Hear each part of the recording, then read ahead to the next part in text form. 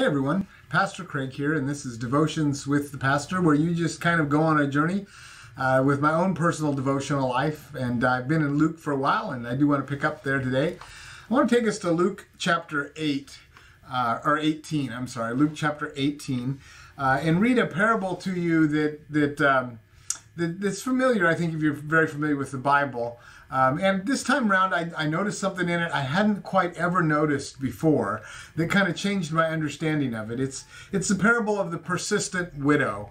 Uh, so let me read it to you, and then we'll talk about it. It says, uh, "This is Jesus, and he told them a parable to the effect that they ought always to pray and not lose heart. He said." In a certain city there was a judge who neither feared God nor per, nor respected man. And there was a widow in that city who kept coming to him saying, "Give me justice against my adversary." For while he for a while he refused. But afterward he said to himself, Though I neither fear God nor respect man, okay, so this is an unbeliever, yet because this woman keeps bothering me, I will give her justice so that she will not beat me down with her continual coming. And the Lord said, Hear what the unrighteous judge says. And he and will not God give justice to his elect who cry to him day and night? Will he delay long over them? I tell you, he will give justice to them uh, speedily. Nevertheless, when the Son of Man comes, will he find faith on earth?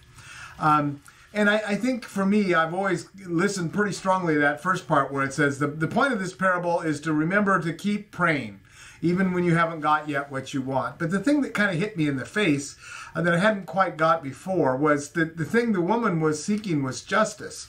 In fact, the word justice appears over and over and over again uh, in this passage, including the very end where Jesus says he will give her justice. Uh, and, and so the thought occurred to me that one of the things God's really concerned about is justice. This isn't just your average run of the mill prayer here. You know, give me this, give me that, give me these other things. This is something where this woman is experiencing an injustice. And she's a widow, and they were very vulnerable in Jesus' time.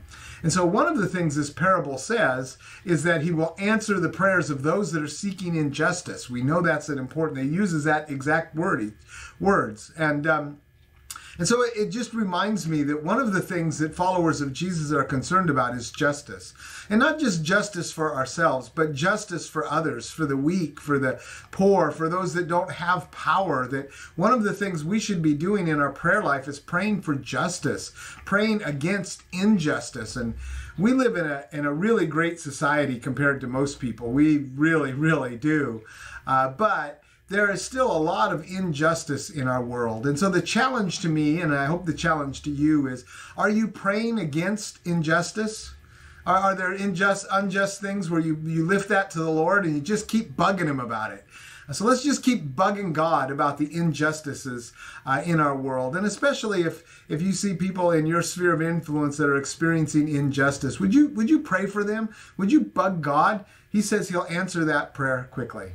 So that's my thought for today. Pray against injustice. Love you guys. Have a great day.